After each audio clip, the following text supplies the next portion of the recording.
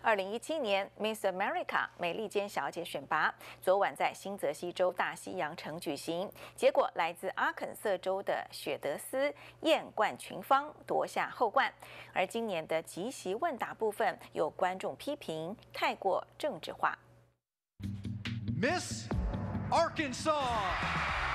当主持人宣布得奖人选，代表阿肯色州参选的雪德斯双手掩面，不敢相信自己成为选美皇后。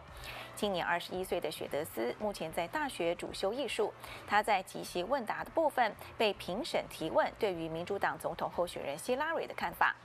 今年的美利坚小姐选拔有许多关于目前政治议题的提问，让观众批评整场选美太过政治化。今年还有个历史性的重点，就是有第一位公开出柜的女同性恋者参加选美，来自密苏里州的欧弗拉和提，在竞选的过程中，选择年轻的多元性向族群自杀问题的严重来探讨，不过最后她并没有挤进前十五名。